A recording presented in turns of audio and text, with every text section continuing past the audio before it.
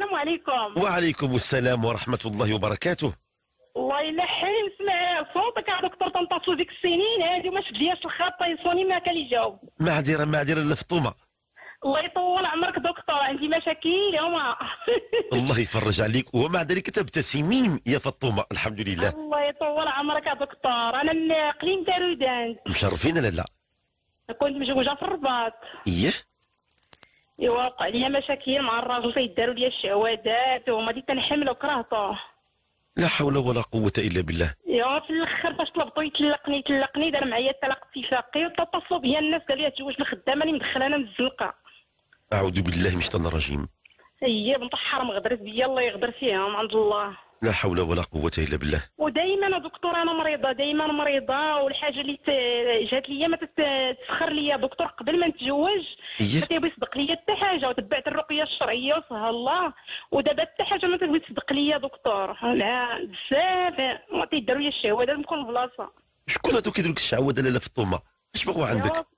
نعم. اش بغوا عندك هاد الناس؟ يا كل واحد خاص الله يهدي كل واحد. الله يدي ما خلق لالا فطومة الله يحفظك يا بنتي يا ربي. الله يحفظك وينجيك. لا حول ولا قوة إلا بالله. لالا فطومة قد تكون الحياة هي فعلا شاقة. قد يكون الحياة فيها مشاكل. ربي عز وجل هذه الحياة الدنيا قضى بحكمته البالغة أن يجعلها فيها النقصان. لماذا سماها الدنيا؟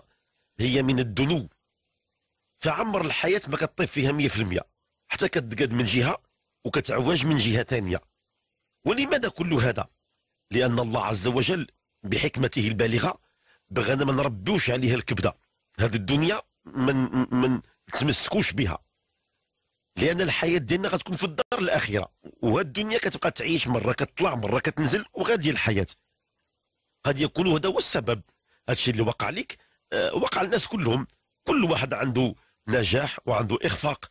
عنده مرة سعادة ومرة عنده شقاء مرة عنده صحة ومرة عنده مرض مرة عنده غنى ومرة عنده إفلاس. وغادي الحياة هكذا تمر بنا جميعا. مركب نسير في عباب البحر والأمواج متلاطمة وهكذا خلق الله الدنيا.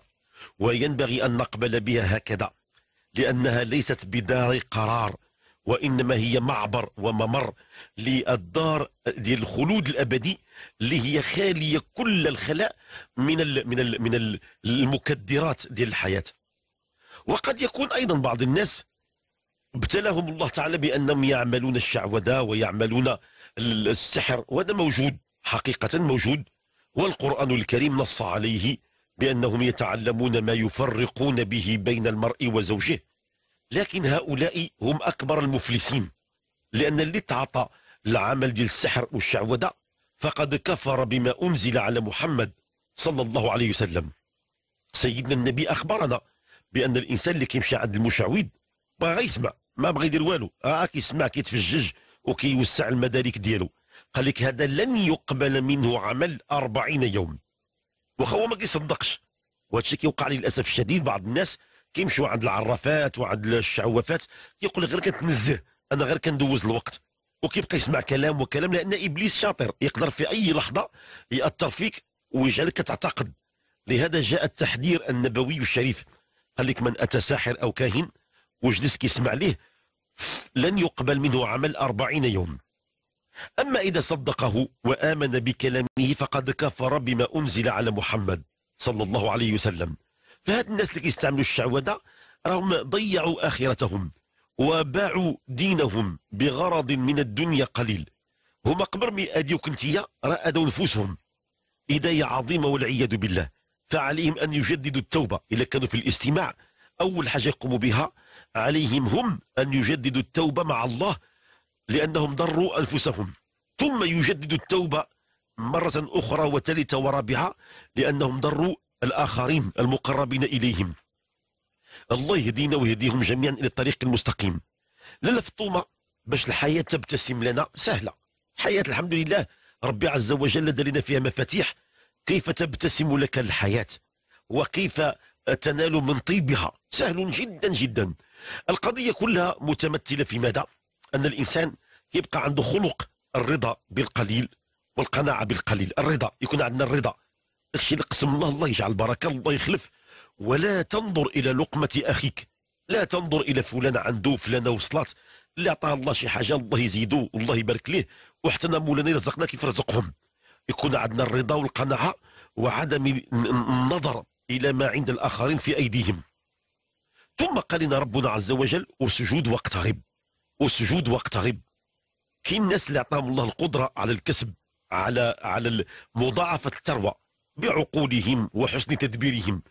ولكن إحنا الضعفاء والفقراء كي غنديروا ما عندناش منطق علمي ما عندناش قدرة على تدبير اقتصادي ما عندناش رأس مال الذي نروجه ونعرفوا تقلبات الأسواق ما عندناش. كي غنديروا سهلة.